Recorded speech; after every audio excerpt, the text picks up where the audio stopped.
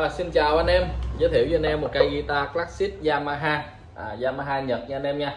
Được thanh lý với giá rất là tốt để mình coi coi. Đây là G70D G70D à, series này được sản xuất tại Nhật nha anh em nha. À, mình thanh lý giá rất là tốt cho anh em luôn. À, cần phím âm thanh ngoại hình đàn thì nó hơi xuất sắc nha anh em nha. Ngoại hình đàn một cây đàn lâu năm mà cây này là 4 50 tuổi gì đó. Nhưng mà chất lượng còn ok xài tốt để anh em mình tập luyện chơi giải trí mấy ngày tết này kia là rất ok nha. Tập luyện lâu dài à, lưng đàn hơi xước sát nhẹ nha anh em nha. Đàn cũ lâu năm mà hơi xước sát nhẹ mặt tớp cũng vậy nha anh em. Một vài vết xước nhẹ linh tinh nhìn xa thì anh em không thấy rõ lát mình quay gần cho anh em coi. À, cái cần thì à, chỗ này là không biết họ dán cái gì ở đây nữa cái băng keo hay gì không biết nữa. Để mình mình thấy nó chả ảnh hưởng gì nữa mình cũng không lột ra không ảnh hưởng gì hết. Khóa zin của Yamaha nha à, ngựa này đã được hạ rồi nha anh em nha. Đã được à, hạ bào ngựa này rồi hạ ngựa này lại rồi. À, giá mình đang bán là một triệu sáu trăm ngàn nha anh em. Cái này để tập luyện vui chơi giải trí ok chơi lâu dài vẫn tốt không có ảnh hưởng gì hết. Chất lượng thì ngon lành hoàn toàn ok hết nha anh em nha. À, 1 triệu 600 ngàn đèn Yamaha G70D sản xuất của Nhật nha anh em nha. Rồi mình sẽ quay tổng quan mình quay gần test cần phím cho anh em coi.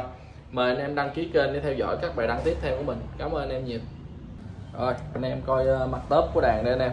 Khá đẹp nha. Mặt tớp khá đẹp nhưng mà nó vẫn có vài vết lấm tấm theo thời gian là anh em. Đàn nhật mà đàn lâu năm á mấy chục năm rồi một hai vết lấm tấm này kia. À, ngựa đã được mài xuống rồi nha anh em nha. Để cho nó thấp anh em mình chơi cho nó êm tay cho nó nhẹ miếng. Rồi Yamaha. À. lưng nè. Lướt xước vậy thôi nha anh em nha. Nó chỉ lướt xước nhẹ nhẹ thôi một triệu sáu thường thì anh em mua cái này phải tầm hai triệu rưỡi ba triệu gì đó tầm tầm vậy nha nếu mà nó đẹp nó đẹp luôn. Còn cỡ này thì giá vậy là ok rồi anh em quá rẻ. À, action đàn đây là dưới mức chuẩn một chút xíu nha anh em nha. Action đàn dây một dưới mức chuẩn dây 6 dưới mức chuẩn một miếng nha. Ngon lành hết ok. Bây giờ mình sẽ test cần phím cho anh em coi.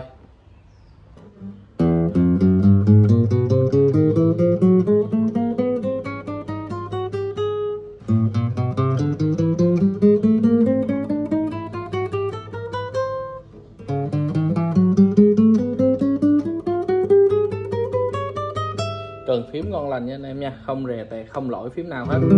Mình rải vài hợp âm để anh em nghe, anh em cảm nhận cái âm mập của đàn nha. Một triệu sáu trăm ngàn. Rất là ok luôn anh em.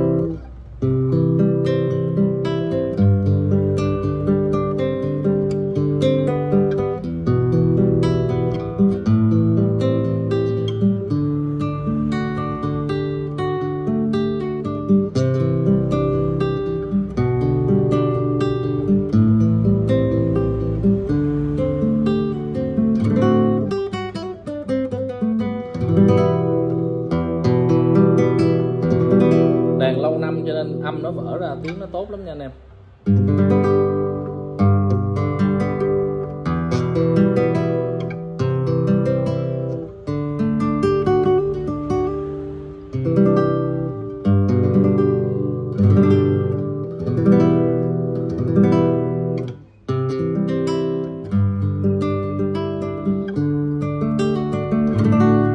Rồi à, Yamaha G70D sản xuất tại Nhật giá là 1 triệu 600 ngàn. Thông tin cửa hàng và số điện thoại để phần tiêu đề và phần mô tả.